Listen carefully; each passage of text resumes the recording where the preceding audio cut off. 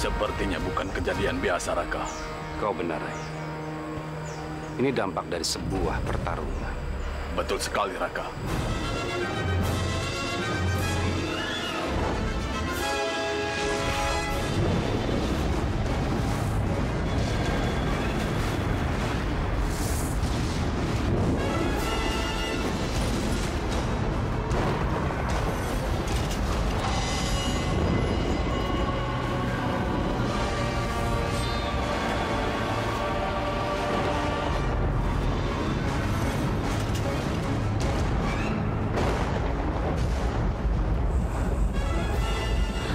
Astagfirullahaladzim. Bagaimana ini kakak? Jangan-jangan ada sesuatu yang terjadi pada Kanda Prabu. Iya, Rai. Aku juga sangat cemas pada Kakanda Prabu. Semoga saja tidak terjadi apa-apa pada Kakanda. Iya, Kak.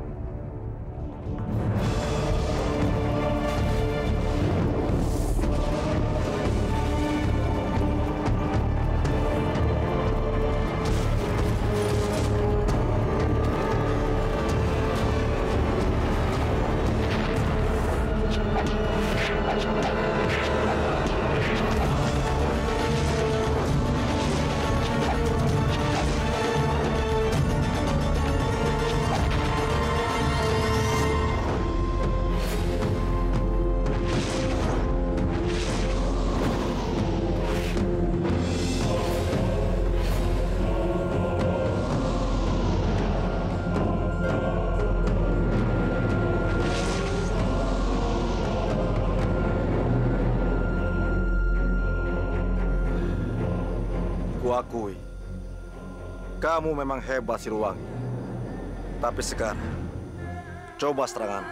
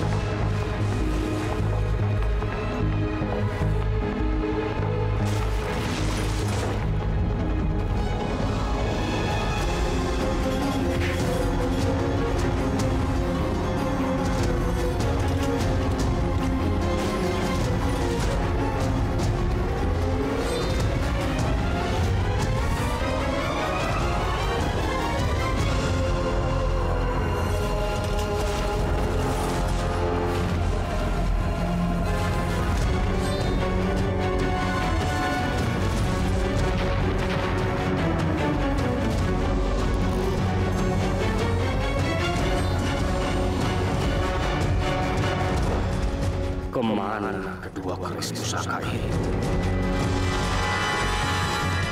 Aku harus mengejar.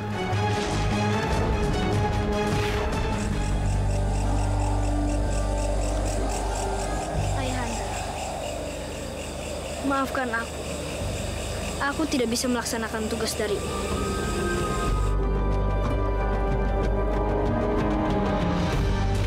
Assalamualaikum. Waalaikumsalam. Kakek, Kenapa kamu putus asa, Raden? jalannya sangat licin, kek. Aku tidak bisa menaiki bukit itu. Raden, tombak luhur budi itu hanyalah sebuah simbol. Luhur budi artinya berbudi luhur. Dan setiap orang mengagumkan sifat itu, namun kebanyakan mereka hanya bisa sebatas kagum, Raden. Dan untuk memiliki sifat itu, mereka kesulitan. Memang setiap orang sebenarnya ingin berbudi luhur. Termasuk juga pada para penjahat, Raden. Hati kecilnya, mereka juga ingin memiliki sifat itu.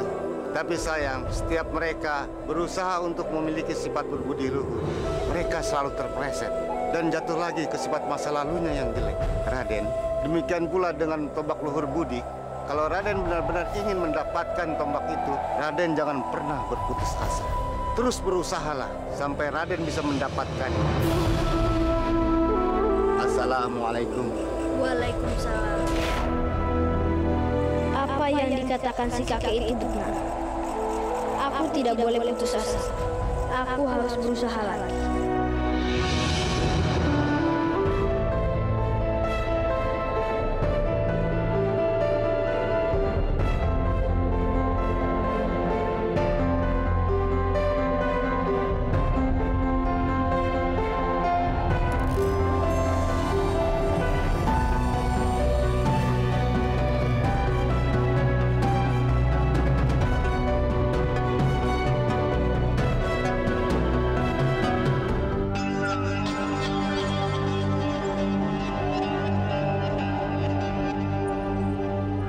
Subhanallah, indah sekali istana ini. Para pekerja di istana sangat disiplin.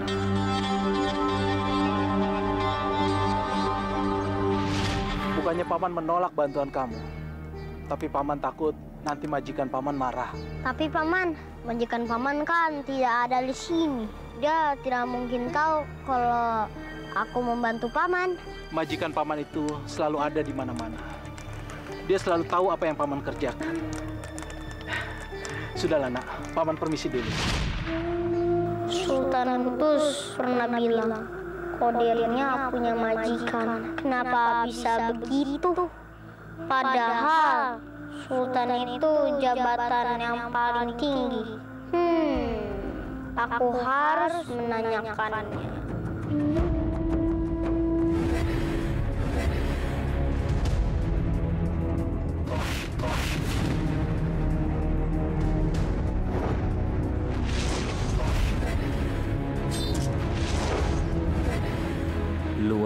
Biasa. Dia benar-benar hebat. Ilmunya sangat tinggi.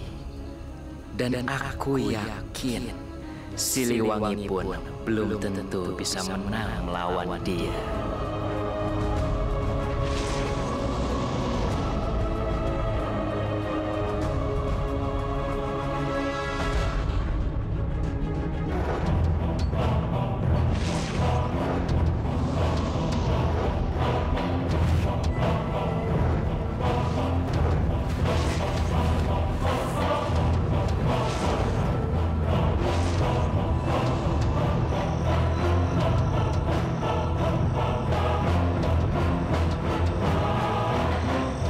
Ada apa, Argadana? Kenapa kamu menemuiku?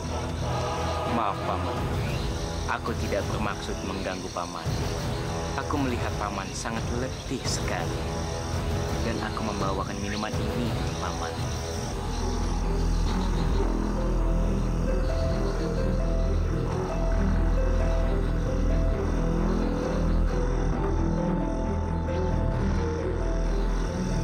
Maaf, Paman. Tapi ada yang ingin aku sampaikan kepada Paman. Argadana, sampaikan saja. Apa yang mau kamu katakan? Nanti malam, Istana Pajajaran akan mengadakan pesta. Argadana, kenapa kamu bicara padaku? Apa hubungannya dengan aku? Tentu saja ada hubungannya dengan Paman. Karena mereka mengadakan pesta untuk memperingati kematian Guru Citra Sena. Pajajar mau mengadakan pesta perayaan atas kematian Kakang Citrasena. Benar, Paman. Kurang ajar. Rupanya mereka menantang aku. Baiklah. Aku akan habisi mereka semua air ramuan yang membuat orang menjadi keringas sangat ampuh dan dia mulai terpengaruh.